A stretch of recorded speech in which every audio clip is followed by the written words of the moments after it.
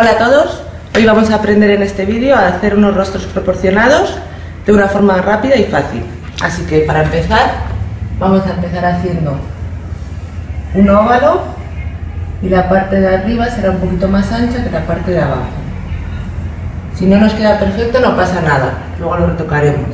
Entonces primero haremos un óvalo, una vez que lo tenemos hecho lo vamos a dividir por la mitad, más o menos, y también por la mitad a lo largo. Así que lo que hacemos es poner los ejes horizontales y verticales.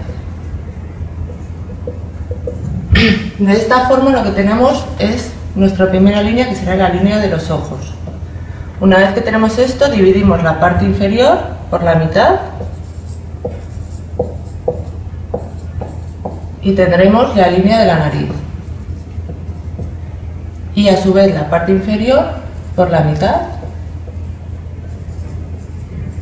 Y tendremos la línea de la boca inferior.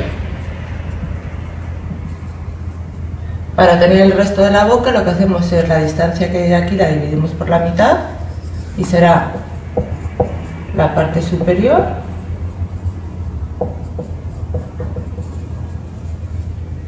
y la distancia que tenemos en la boca por la mitad.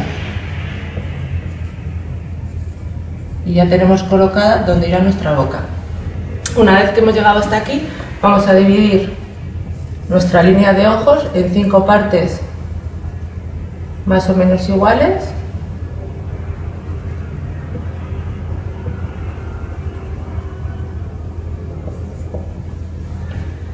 para empezar a marcar los ojos. Entonces, en el módulo 2 y en el módulo 4 meteremos nuestros ojos y lo vamos a hacer hacia abajo. Es decir, aquí haremos una pequeña curva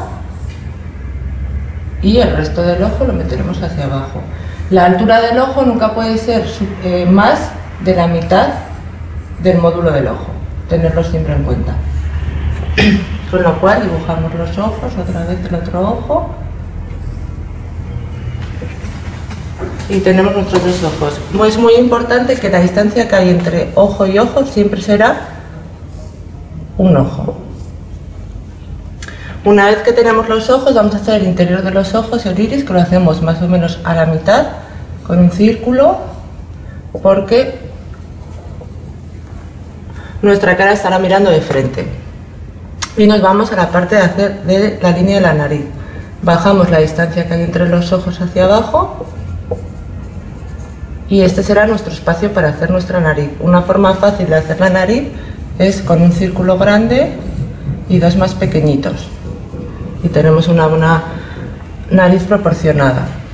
Una vez que ya hemos hecho la nariz, vamos a pasar a hacer la boca y para ello bajamos hacia abajo el inicio del iris y nos va a dar el final del labio. Y con las medidas que ya teníamos de antes, tenemos nuestra boca. Una vez que ya tenemos ojos, nariz y boca, volvemos de nuevo a los ojos y hacemos el párpado superior siguiendo la línea y la misma forma de nuestro ojo. Y para hacer la ceja vamos a crear un círculo con esta medida que se apoya en la parte de abajo del ojo. Y lo mismo en el otro lado comprobamos que, están, que quedan a la misma distancia y esta será la línea de ceja en su altura máxima.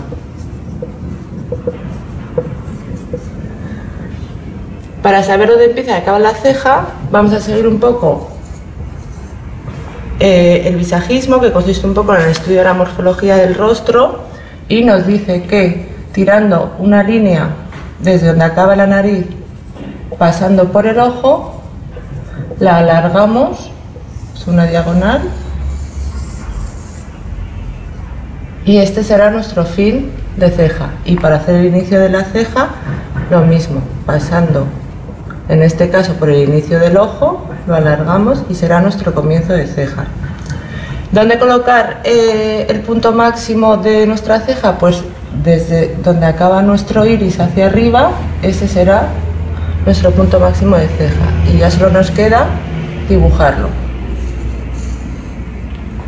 Y en la otra parte hacemos lo mismo.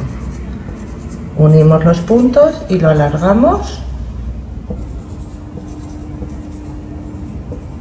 Y subimos nuestro iris hacia arriba. Y ya tenemos las cejas hechas.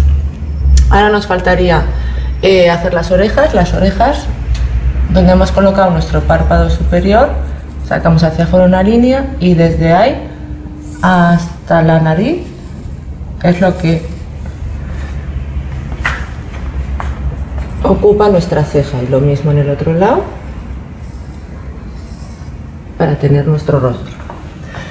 Y para terminar lo que vamos a hacer es colocar el nacimiento del cabello, con lo cual desde la línea de ojos hacia arriba vamos a dividir por la mitad, que vendría más o menos aquí, y en la parte superior en la mitad. Y aquí tendríamos nuestro nacimiento para poder colocar el peinado. Y para terminar simplemente daremos una especie de piquito hacia adentro para darle volumen a la cabeza. Ya tenemos el rostro terminado, lo único que nos faltaría es apoyar la cabeza en el, en el cuello. Para ello Siempre partiendo de los ojos, en el final de nuestro módulo del ojo derecho bajamos hacia abajo y nos va a dar el punto desde donde sale el cuello. Y lo mismo con nuestro ojo izquierdo, punto donde sale. Y nunca lo haremos recto, siempre meteremos un poco hacia adentro. Y en el otro lado lo mismo. Podemos guiarnos de hacer una recta y luego que entre lo mismo en los dos lados.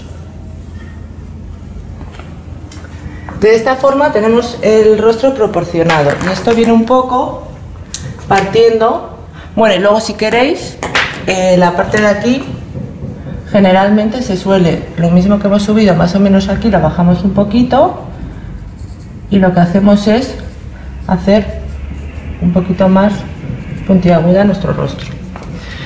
Empezamos con el óvalo porque generalmente, igual que en, la, en el, cuando hacemos el cuerpo, partimos de un canon ideal o un cuerpo ideal, generalmente eh, para los rostros el ideal es la forma ovalada.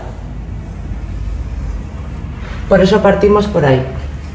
Y siguiendo un poco las proporciones que ideales y de ahí también un poco los estudios del visajismo, cuando se hace el visajismo se estudia el rostro y siempre se estudia teniendo en cuenta desde el nacimiento del pelo hasta la barbilla. Y lo que hacen es dividirlo en tres partes iguales. De esta forma están las tres partes iguales. Y se divide en cinco partes iguales la anchura, que es lo que hemos hecho al principio. Y para confirmar que todo está bien, se tira desde nuestro centro, desde nuestro centro vertical, tiramos una línea que pase por el, por el centro y nos coincidirá con el labio. Y a su vez nos coincidirá con el cuello. Aquí hacemos lo mismo.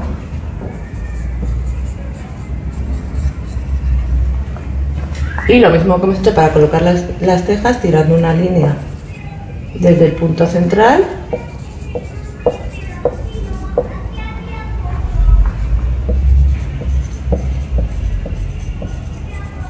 Giran hacia las sienes.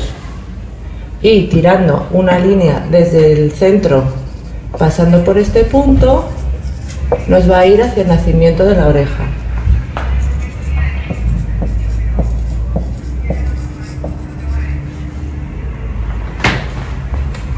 y de esta forma sabemos que nuestro, nuestro rostro es proporcionado. Cuando luego hagamos otro tipo de rostros más cuadrados, más ovalados, en este caso siempre habrá una zona que es la que siempre será inamovible, que será esta parte. Lo que nos cambiará serán las zonas laterales y las de abajo. Así que así tenéis una forma muy fácil de poder hacer un rostro proporcionado, fácil, rápido y eh, que nos encaje perfectamente con lo que son las proporciones ideales. Así que espero que os haya gustado y que lo practiquéis mucho.